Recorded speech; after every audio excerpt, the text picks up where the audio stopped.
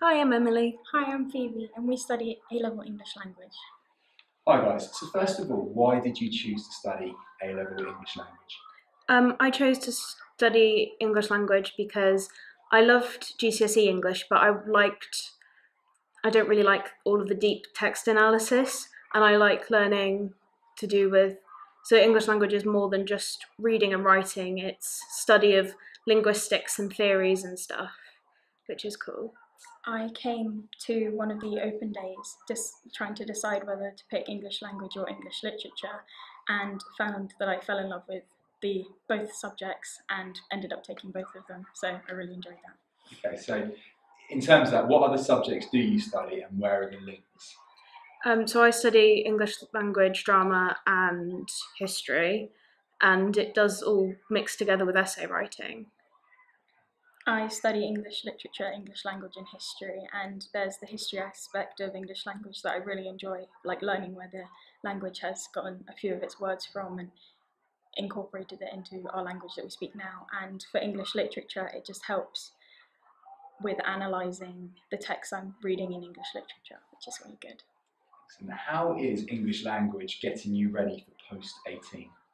Well, personally, I'm looking at studying a drama and English or drama and creative writing course at university, so that's really helping me out with the English side of the degree. So that's yeah. Um, I'm I'm not really sure what I'm studying, or I'm I'm, but um, I like English language because it can lead you in so many different pathways, like law, uh, journalism, writing, and stuff like that. So I think that's really good. That's good. What's been your most memorable experience so far in English language? Probably learning right at the beginning, we learned a lot of really cool theories about the way you actually speak. So, one of them was accommodation theory, and that's to do with how you change your voice depending on who you're talking to. And it, it's really funny because we now catch ourselves um, listening for it in other people in conversations, and without even realizing it, you end up analyzing your own conversations, which is really cool. Um, what skills do you need to be a successful A level English language student? we wrote it down. Um, to to be a successful English language student, you basically have to be very good at writing notes, like concise and um, knowing exactly what you need to know.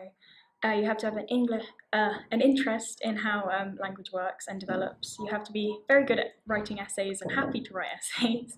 That's very that's very um, yeah. So and then you've got to enjoy reading as well, and then having confidence to actually voice your ideas is really important because you end up sometimes teaching the teachers things with the stuff you come up with in your mind, and then also being open to debate your ideas as well because there's a lot of discussion.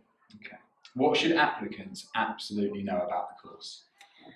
Um, that the the subject matter is completely different to English language at GCSE. It's completely a completely different spectrum, but still just as interesting if you enjoy Yeah. it. So it's not just read this and analyze it. It's this you learn history of English language, you do sociolinguistics, you do language acquisition in children and global language. So it's not read a book, write about it. It's actually learn about the actual language itself rather than just the study of how other people have written it. Um, how would you describe English language using three words? Okay, we thought about this. yeah. Um, interesting, Thought provoking. and there's never a wrong answer. I didn't know how to put that in one word. That works. Um, and do you have any other sort of closing remarks? Anything else I think applicants should know? Uh, keep an open mind when looking at the course because it is different from GCSE. A lot of people write it off just based on the GCSE, but definitely actually look at the course content because you'll find yourself. Oh, I found myself really interested by it when I thought that I wasn't going to like it at all. So I thought that um, it was quite different, the stuff that we studied, but I found I really enjoyed it when at the beginning I thought it was a bit, oh, am I going to enjoy this? But I, I'm really enjoying it now, especially focuses, focuses on um, accents and development in children because you never really look at a child and go, oh, how are you speaking? And why are you speaking like that? Whereas now I would, if I was having a conversation with a child, I would analyse what they're speaking, which is very interesting.